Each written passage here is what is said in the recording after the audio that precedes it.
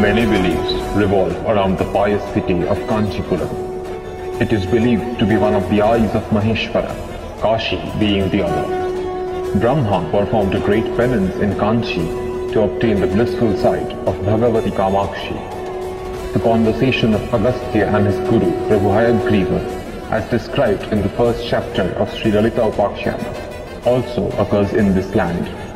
But most importantly, it is viewed as Bhauma Manidvipa, the earthly reflection of the same Manidvipa, where resides Parabhagavati, Parashakti, Param Brahma Swarupini, Sri Raj Rajeshwari Lalitambika, who was invoked by the gods to slay the demon Bandasura.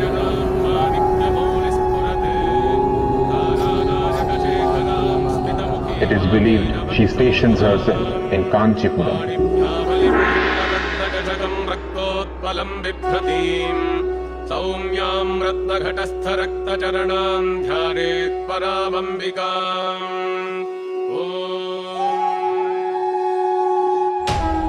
carved my form from the earth. They sculpted my eyes of desire.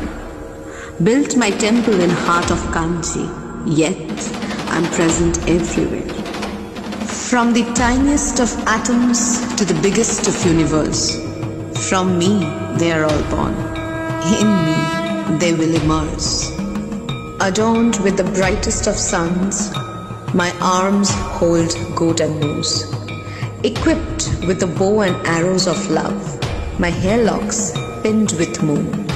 Appeared from the flames of mind, united with the most handsome lord. Slayed the demon Bhandasura, as his boon turned curse of God. The gods sang my hymns and praises after realizing everything I have done. With four hands, I control three worlds, unite two bodies as a soul of one. I am goddess Kamakshi of Kanchi, ruling the universe before it began.